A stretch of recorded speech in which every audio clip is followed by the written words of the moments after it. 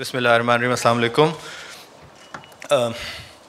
Actually मैं अभी थोड़ी देर पहले ही मुल्क से बाहर से ट्रैवल करके आया हूँ तो मेरी ये जो नींद भरी आँखें आप देख रहे होंगे ये इस बात का सबूत है। और uh, मेरे काम की नौीयत कुछ इस तरह की है कि मुझे ट्रैवल करते रहना पड़ता है। Mostly like eleven months a year I am out of Pakistan because of my nature of job और बहुत से लोगों को शायद ये इल्म नहीं है कि मैं आर्किटेक्ट भी हूँ। National college of architect national college of arts से मैंने आर्किटेक्चर की डिग्री हासिल की आज से कई साल पहले।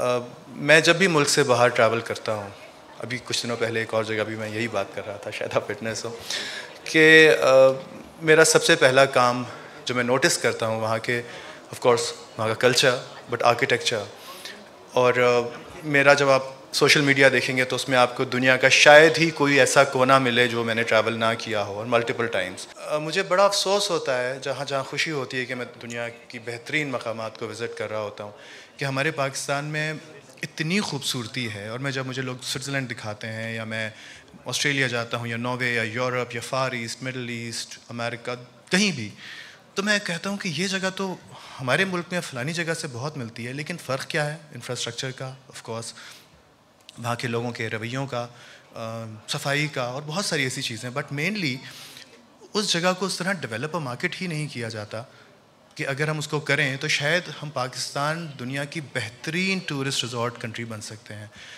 जब सादात ने मुझे ये प्रोजेक्ट ऑफ़र किया था तो मैं थोड़ा सा रिलक्टेंट था। मैंने कहा, सादात, मैं बहुत बदकस्मत हूँ इस मामले में कि मैं अपने मुल्क के, अपने शहर इस्लामाबाद के इतने पास जो इलाका है, वहाँ ट्रैवल नहीं कर सका, जा नहीं सका खानपुर। एक दो दफ़ा गया हूँ, लेकिन जिस जगह पे आप मुझे लेके जा रहे हैं तो मैं थोड़ा सा हेजिडेंट था कि ये ऐसा कुछ हो सकेगा कि नहीं। मैं पहली दफ़ा जब गया, मैंने वहाँ की रोड्स बनते हुए देखी। दूसरी दफ़ा जब गया तो आप यकीन करें कि इतनी थोड़ी मुद्दत में वहाँ इतनी खूबसूरत रोड्स का सिलसिला बनता हुआ मैंने देखा कि मैं हैरान रह गया कि इतनी जल्दी। और जब मैं उस लोकेशन पे पहुँचा हूँ तो मैंने कहा कि सादात इस जगह पे आपने बनाना ही बनाना है कुछ।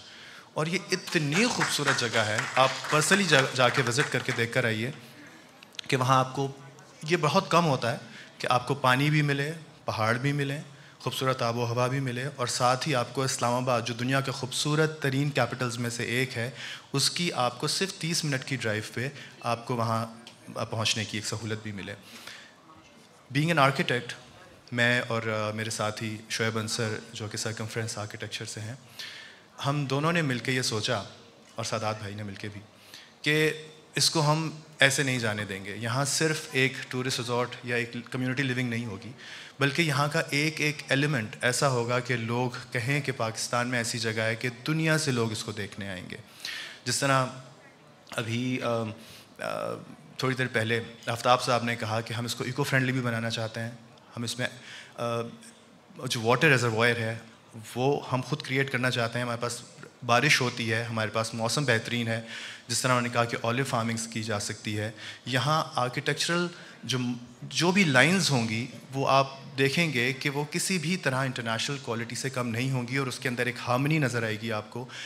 कोई भी चीज़ रैंडमली आप नहीं कहेंगे कि यहाँ ये आर्किटेक्चर नज़र आ रहा है तो वो उससे मुताबकत नहीं रख रहा।